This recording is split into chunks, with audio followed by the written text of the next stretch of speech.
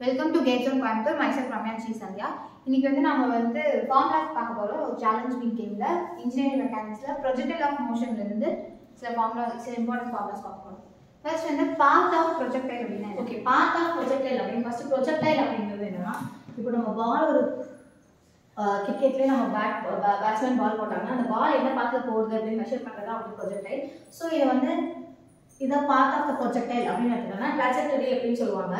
So இந்த வெலாசிட்டியில் ஒரு குறிப்பிட்ட வெலாசிட்டியில் போகுது. அப்போ என்ன பார்த்து அது வந்து ஃபார்ம் பண்ணால் பேரபுலா பார்த்து ஃபார்ம் ஃபார்ம் பண்ணோம் அப்படின்னு சொல்லுவாங்க. பார்க்க ப்ரொஜெக்டில் எப்படி இருக்குன்னா பேரபுலா ஏன்னா குறிப்பிட்ட ஹைட் வரைக்கும் போகும். அதுக்கப்புறம் வந்து பால் வந்து ஸ்ட்ரைட் ஹைட் ரவுண்டில் பண்ணுறோம் அப்படின்னு சொல்கிறாங்க ஸோ இந்த டிஸ்டன்ஸ் அந்த ball ball of projectile projectile distance ஸ்டார்டிங்கும் அப்புறம் அந்த ஸ்ட்ரைக்கான அந்த டிஸ்டன்ஸ் தான் என்ன சொல்லுவாங்கன்னா ரேஞ்ச் அப்படின்னு சொல்லுவாங்க. அப்புறம் அதே மாதிரி டைம் மேக்ஸிமம் ஹைட் எவ்வளோ ரீச் ஆச்சு? அதுக்கப்புறம் கிரவுண்ட் எவ்வளோ ஸ்ட்ரைக் ஆச்சு? அந்த டைம் மெஷர் பண்ணுறது என்ன சொல்கிறாங்கன்னா டைம் ஆஃப் ஃப்ளைட் அப்படின்னு சொல்லுவாங்க. டைம் ஆஃப் ஃப்ளைட் அப்படின்னு சொல்லுவாங்க. ஸோ இந்த இதை வந்து பார்க்கறதுக்கு எப்படி இருக்குன்னா ரிசல்டன்ட் ஃபோர்ஸ் மாதிரி இருக்கும். ஸோ இந்த ஃபோர்ஸ் இப்போ இன்க்ளைன் ஃபோர்ஸ் நம்ம எப்படி கேல்குலேட் ரிசல்ட் அண்ட் ஃபோர்ஸ் வந்து ரெண்டாக பிரிப்போம். ஒன்று வந்து ஹரிசான்டல் ஃபோர்ஸ் இன்னொன்று வந்து வெர்டிகல் ஃபோர்ஸாக ரெண்டாக பிரிப்போம். ஸோ அதை ரெண்டாக பிரித்து தான் நம்ம கேல்குலேட் பண்ணியிருக்காங்க. இது y இது எக்ஸ்ன்னு எடுத்து கேல்குலேட் பண்ணியிருக்காங்க ஸோ இது கேல்குலேட் பண்ணும்போது ஈக்குவேஷன் நமக்கு எப்படி கிடச்சிச்சுன்னா ஸோ பேரபுலா அப்படிங்கும்போது பேரபுலா ஈக்குவேஷன் கிடைக்கும். Parabola equation most of four A X square Y இப்போ எக்ஸ் ஸ்கொயர் ஃபார்மேட்டில் கிடைக்கும். அப்போ எப்படி எப்படி கிடச்சிருக்குன்னா x tan theta minus 3x square divided by u square cos theta அப்படி கிடைச்சிருக்கு. ஸோ ஈக்குவேஷன் ஆஃப் ப்ரொஜெக்டைல் அப்படின்னாலே y is equal to x tan theta or path of projectile வந்து இது வந்து parabol parabol path அப்படின்னு சொல்றாங்க. அந்த இக்குவேஷன் ஆஃப் ரிசல்ட்டை எப்படி கிடச்சிருக்குன்னா ஒய் ஒய் இஸ் கூட X theta minus G X square divide by U square cos theta சொல்கிறாங்க இதெல்லாம் என்ன சொல்கிறாங்கன்னா பார்ட் ஆஃப் த ப்ரொஜெக்ட் அப்படின்னு சொல்கிறாங்க ஸோ நம்ம பேரலான அவசியம் நம்ம சொல்லுவோம் பேரலால எக்ஸ் ஸ்கொயர் வரும் வைஸ் கூட ஃபோர் எக்ஸ் ஸ்கொயர் படிச்சிருக்கோம் அப்போ எக்ஸ் ஸ்கொயர் வரும் அந்த எக்ஸ்பிளைன் இந்த இது வந்து ஏங்கிற ஆக்சேஷன் மாதிரி நான் ஆரம்பிச்சுக்கலாம் இப்போ ஆக்சேஷன் வந்து G is equal to U square cos தீட்டான்னு வரும் முன்னாடி வந்து எக்ஸ்ட்ரா தீட்டான்னு வரும் ஏன்னா இது எப்படி ஆச்சுக்கலாம்னா நம்ம sine theta cos theta horizontal vertical force வச்சு படிப்போம் so sine theta cos stand அப்படின்னு ஆச்சுக்கலாம் so extra theta theta minus gx square divided by u square தான் path of அப்படின்னு சொல்லுவாங்க ஓகே இப்போ ப்ரொஜெக்டைல் மோஷன் அப்படின்னா என்னன்னா இப்போ ஒரு ஒரு பேட்ஸ்மேன் இருக்காரு. ஒரு பேட்ஸ்மேன் வந்து ஒரு பாலை வந்து இது பண்ணும்போது அது என்ன பாத் ஃபார்ம் பண்ணணும்னா மோஸ்ட்டாக வந்து பேரபோலிக் பாத் ஃபார்ம் பண்ணும். ஸோ அதுதான் வந்து ப்ரொடக்ட் ப்ரொஜெக்டைல் மோஷன் அப்படின்னு சொல்றாங்க அதில் வந்து ஒரு மூணு விஷயம் சொல்கிறாங்க ரேஞ்ச் டைம் ஆஃப் ஃப்ளைட் அதுக்கப்புறம் ட்ராஜெக்டரி அப்படின்னு சொல்றாங்க. ட்ராஜெக்டரி அப்படின்னா the path which is followed by the projectile தான் வந்துட்டு trajectory அப்படின்னு சொல்றாங்க அது ஒரு குறிப்பிட்ட velocityல போகும் அது யூன்னு சொல்லியிருக்காங்க. நெக்ஸ்ட் ரேஞ்ச் வந்து எங்க வந்து ப்ரொஜெக்டைல் வந்து ஸ்டார்ட் ஆகுதோ அது போய் எங்க ஸ்டார்ட் ஆகுதோ அதுல இருந்து போய் ஸ்ட்ரைக் அந்த பால் வந்து ஸ்ட்ரைக் ஆகுற இடத்த ஃபுல்லாவே வந்துட்டு ரேஞ்ச் அப்படின்னு சொல்றாங்க. அதுக்கப்புறம் டைம் ஆஃப் ஃபிளைட் வந்து இந்த time taken by the projectile to strike the ground வந்து டைம் ஆஃப் ஃபிளைட் அப்படின்னு சொல்றாங்க. இந்த பார்ட் ஆஃப் ப்ரொஜெக்டைல் அப்படிங்கிறது வந்து ஒரு ஈக்குவேஷன் சொல்றாங்க. ஸோ அது பார்ட் ஆஃப் பேரபோலான்னு வச்சு படிச்சோன்னா நமக்கு ஈஸியாக இருக்கும் ஸோ அது வந்து y equals equals A a tan theta minus X square divided by u square cos theta அப்படின்னு சொல்றாங்க. இதான் வந்து பார்ட் ஆஃப் ப்ரொஜெக்டைலோட ஈக்குவேஷன் நெக்ஸ்ட் வந்து டைம் ஆஃப் ஃபிளைட் ஓகே இதுல இருந்து நிறைய டிரைவ் பண்ணியிருக்காங்க. டைம் ஆஃப் ஃபிளைட் வந்து டீன்னு சொல்லுவாங்க. Time of flight is equal to எப்படி வேணா வச்சுக்கோனா time of flight is equal to two U sine theta by G so time of flight of projection கண்டுபிடிக்கணும் நம்ம இந்த ஃபார்முலா யூஸ் பண்ணி கண்டுபிடிக்கணும். T is equal to U sine theta by G அப்படின்னு சொல்கிறாங்க so time of ஃபிளைட்னா the time taken by the projectile to complete the motion அதுதான் வந்துட்டு time of light சொல்கிறாங்க அது வந்து two U sine theta by G அப்படின்னு சொல்றாங்க.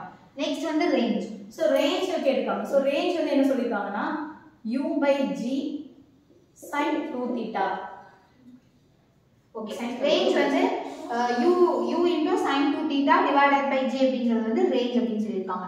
Next வந்து condition for maximum range so maximum range போடுறதுக்கு முன்னாடி நம்ம ரேஞ்ச் போது மேக்ஸிமம் ஹைட் கன்சிடர் பண்ணுவோம். ஸோ மேக்ஸிமம் ஹைட் எப்படி இருக்கும்னா U square sine square theta divided by G அப்படின்னு ஸோ இதில் மேக்ஸிமம் ரேஞ்ச் வந்து தீட்டா வந்து ஃபார்ட்டி ஃபைவ் டிகிரி நம்ம கன்சிடர் பண்ணுவோம். So forty five degree sine square போது forty five plus forty five ninety ஆகிடும் சைன் நைன்டி நம்ம என்ன கிடைக்கும்னா ஒன் கிடைக்கும். So U square by G U square by இங்கே டூ ஜி வரும் so U square by two G இதுதான் என்ன சொல்ல வராங்கன்னா height maximum range of projectile அப்படின்னு சொல்கிறாங்க okay condition for maximum range and height சொல்லியிருக்காங்க. இங்க theta is equal to 45 degree அப்படிங்கும்போது இங்க u ஸ்கொயர் 2g அப்படின்னு ஆகும்.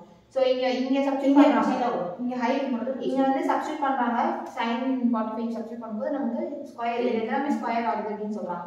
ஸோ அப்போ யூ ஸ்கொயர் டூ ஜின்னு சொல்றாங்க. இங்க வந்து U square sine square sine square theta by two G அப்படின்னு சொல்றாங்க. ஸோ இது எப்படி நான் வச்சுக்கலாம்னா ஃபர்ஸ்ட் டைம் ஆஃப் ஃபிளைட் நான் வச்சுக்கலாம் டைம் ஆஃப் ஃபிளைட் வந்து two U sine theta by G எந்த ஸ்கொயரும் வராது.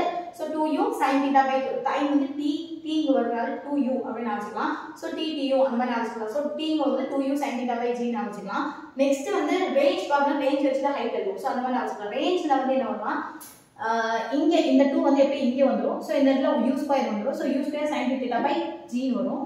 அதே ஹைட் போது என்னன்னா U square sine square theta by two G மட்டும் வரும். ஸோ இதுதான் ஹைட் வச்சு தான் நம்ம மேக்ஸிமம் கண்டிஷன் எழுதுவோம் ஸோ ஹைட் வந்து இங்கே ஃபார்ட்டி ஃபைவ் டிகிரி சப்ஸ்டியூட் பண்ணும்போது நம்ம ஃபார்ட்டி ஃபைவ் டிகிரி சப்ஸ்டியூட் பண்ணும்போது என்னன்னா ஃபார்ட்டி ஃபைவ் ஸ்கொயர் இருக்கு. Plus forty five plus forty five ninety ஆயிடும். சைன் நைன்டி ஒன் ஆயிடும். ஸோ இந்த டேர்ம் ஃபுல்லாக என்ன ஆயிடும்னா ஒன் ஆயிடும். அப்போ நமக்கு மேக்ஸிமம் கண்டிஷன் என்ன கிடைக்கும்னா யூ ஸ்கொயர் பை டூ ஜின்னு கிடைக்கும்.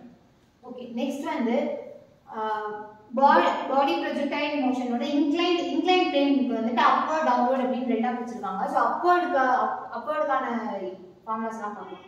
ஸோ அப்வர்ட் அப்படிங்கும்போது பாடி அப்வர்ட் அப்வர்ட் ப்ரொஜெக்ஷன் ப்ரொஜெக்ஷனுக்கான இது கேல்குலேட் பண்ணியிருக்காங்க. அதே டைம் ஆஃப் ஃப்ளைட் அதே range maximum condition for range அதே மாதிரி ஹைட் இதெல்லாம் மெஷர் பண்ணியிருக்காங்க. Uh, சேம் இங்கேயும் அதே மாதிரி டவுன்வேர்ட் ஆக்கும் டவுன்வேர்ட் ஆக்கும்போது இப்படி நமக்கு இப்படி வரும். ப்ரொஜெக்டைல் வந்து இப்படி டவுன்வேர்டாக வரும். இல்லை அப்போ ஸோ அப்போர்டுக்கு வந்து டைம் ஃப்ளைட் எப்படி கால்குலேட் பண்ணியிருக்காங்கன்னா டைம் ஃப்ளைட் இங்கே டூ யூ டூ யூ சைன்டினா பை ஜின்னு சொன்னோம். ஸோ இங்கேயும் டூ யூன்னு வரும். ஸோ இங்கே ஜிக்கு பதில் காஸ் பீட்டான்னு வரும்.